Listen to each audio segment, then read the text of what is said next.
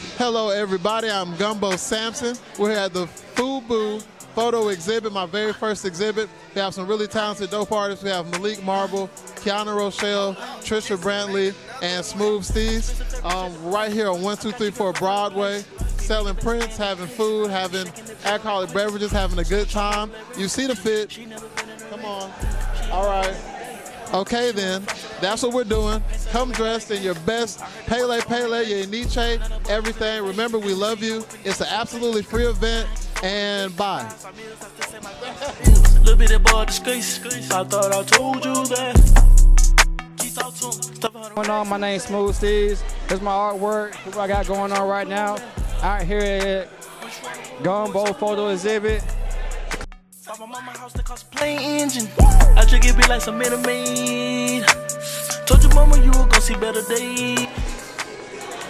What's up, guys? Everybody watching this. My name is Malik Marble. I'm a film photographer in Columbus, Georgia.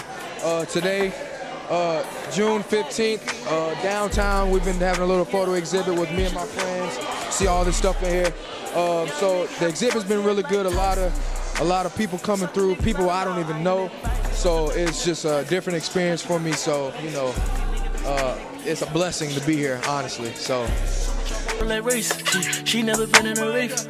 She in my phone every day. Hey guys, I'm Kieana Maynor of K1 Studios, and this is my work at the FUBU photo exhibit.